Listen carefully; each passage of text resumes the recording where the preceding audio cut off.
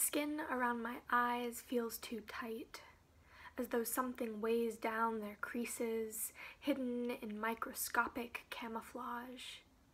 I think of space a lot negative, positive, open, empty. It's always filled with something dirt or dried salt.